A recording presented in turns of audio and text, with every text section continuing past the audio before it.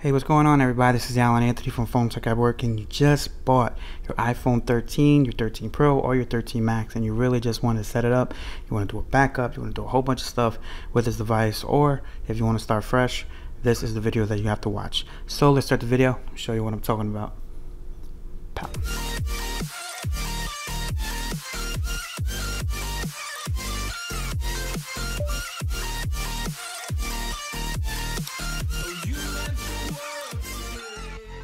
Alright guys, so you just unboxed your iPhone 13. As you guys can see, it does have the hello in different languages, so you just have to swipe up and you have to pick your language. I'm going with English here, going with United States. Alright, so you can actually do it manually.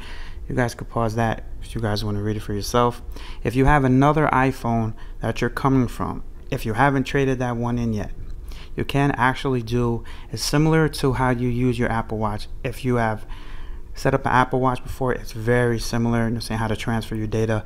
Basically, what happens is that when you're at this one right here, it does actually have a pop up on the older phone, and it will tell you, do you want to set it up on here, and you could actually do it flawlessly.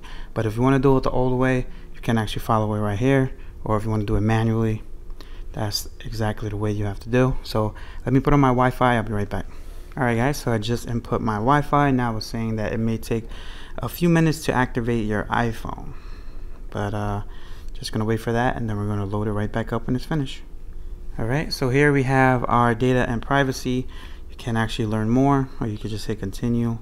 You guys can pause that and read it for yourself. You definitely can. Hit continue. This is where you set up your face unlock, your face ID. iPhone can recognize the unique three-dimensional features of your face to unlock automatically. Use Apple Pay, make purchases. I really love Face ID, but there's a lot of there's a few people I know who just prefer to have the pin lock, and they say that if, if if the cops want to pull you over, they could just put it to your face or something like that. Um, there's a whole bunch of things about that. You can actually set this up. Uh, we can actually do a little bit of it so far, so you guys can see my face. All right, so here's my face right here, and um, just have to roll your head around. I do have my camera there, so I will be doing this again, just like so. All right. Um, there you go. That's how you set it up. Here, continue. Then you can make your code. I usually go with this one. Um, this passcode could be easily guessed. Use anyways. I will actually change this as soon as this video is over so I can do everything again because I do have another phone that I do want to back up. So if you want to do it the older style, you can do it from an iCloud backup, your Mac or PC. transfer directly from your iPhone, or you can move data from from your Android device, or you could just have a fresh start. So you can actually restore from backup. So I do have an older one, but um, I'm going to do something else. And here you have to sign on to your Apple ID.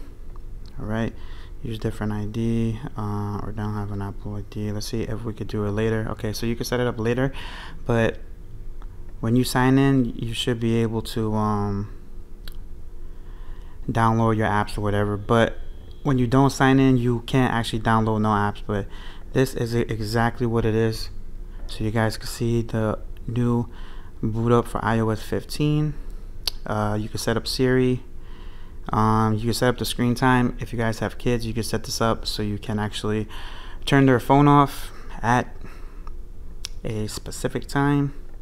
iPhone analytics, and you do have your light mode and your dark mode, which basically means that it'll, that'll be a little bit more nice to see when you're in your bed at nighttime. So you leave it on dark mode. I do always leave this one on standard, and that's it, guys. This is how it looks exactly when you unbox your iPhone 13 just like this. Alright so let's see how much storage is in here out the box. Out the box for the 128 model you you get 112.99 gigs out the box when you have a fresh start. Um, so that is actually pretty good. It's only using about 16 gigabytes 15 gigabytes for the actual OS so if you guys like this video if it helped you out in any way hit that thumbs up. If you guys like this channel, subscribe if you haven't already, and follow Phone Tech at Work for more videos like this of the iPhone 13 and more tech to come. Peace and love. I'll see you guys in the next video.